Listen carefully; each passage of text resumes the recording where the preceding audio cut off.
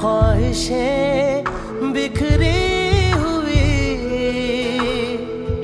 खामोशियों का शोर है।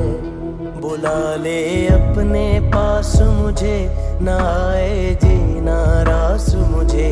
क्यों तूने छीन लिया मुझसे मेरा जहाँ?